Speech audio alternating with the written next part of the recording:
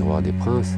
euh, c'est un exercice aussi vieux que le pouvoir politique et que sa modération qui était inspirée euh, dans l'Antiquité et au Moyen Âge par des clercs qui disaient aux princes à la fois euh, ce qu'il fallait faire pour sauver leur âme et assurer le salut de leur, de leur royaume. à l'époque contemporaine, les miroirs des princes sont tout autre chose. Les miroirs des princes sont des journalistes, sont des, des télévisions, sont des images qui euh, ne, disent plus que euh, le message que les politiques attendent dans leur narcissisme foncier, à savoir euh, je suis le plus beau, le meilleur, et je vais capter par l'image l'attention et les suffrages des citoyens. Donc il y a eu une dégradation qui est due à la fois à l'apparition d'hommes politiques de moins en moins soucieux de l'intérêt général et de plus, en, de plus en plus soucieux de leur intérêt propre, et aussi euh, une accélération du processus par l'apparition du, multimédia et euh, le fait que le, le, moi des hommes politiques, comme le moi de chacun de nous, enfin en tout cas ceux qui se livrent euh, sur Facebook, Twitter et autres réseaux sociaux, est aujourd'hui aux dimensions de l'univers. Donc il y a une déperdition du politique dans ce jeu euh, où le miroir ne dit plus qu'une chose, c'est euh, euh, la, vanité, fondée ou non d'ailleurs, de, de l'homme politique.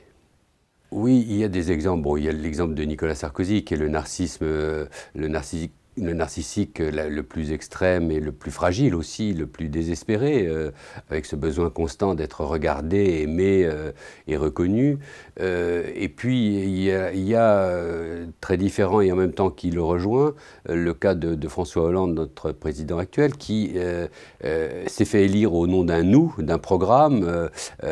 et gouverne de plus en plus au nom d'un jeu, en se mettant en avant et en disant par exemple à propos du Mali, c'est le plus beau de ma vie. C'est comme si on en avait euh, quelque chose à faire euh, de sa vie et de sa personne. Donc aujourd'hui, les hommes politiques, effectivement, euh, sont dans la promotion de leur, de leur moi et non pas dans la recherche patiente, parfois désespérée, de solutions aux problèmes de ceux qui les ont élus. Le pouvoir est devenu une affaire de vie privée. Il n'y a pas d'homme politique qui ne se serve aujourd'hui de sa famille euh, composée, décomposée ou recomposée pour euh, se faire élire,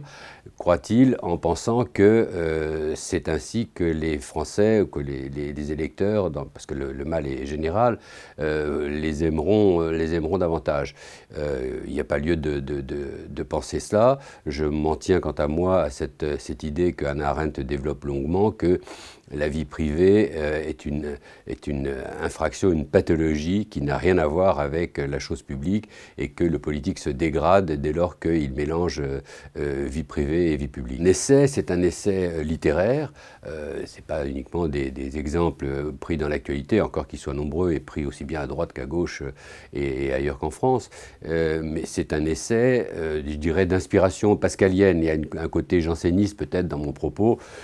qui est non pas de de, donner des leçons de morale à la classe politique, qui n'en a pas besoin, qui n'en a que faire, mais de donner euh, une vision des mœurs, c'est ça le sens des moralistes du XVIIe, une vision des mœurs qui est à la fois euh, amère, euh, critique et, je l'espère,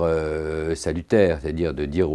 un peu comme dans ce texte de Pascal que je cite, qui, qui est très beau, qui est le discours sur la condition des grands, ne confondez pas votre grandeur d'établissement, votre grandeur de la fonction avec votre grandeur personnelle parce que vous vous y perdrez et vous perdrez aussi le sens public.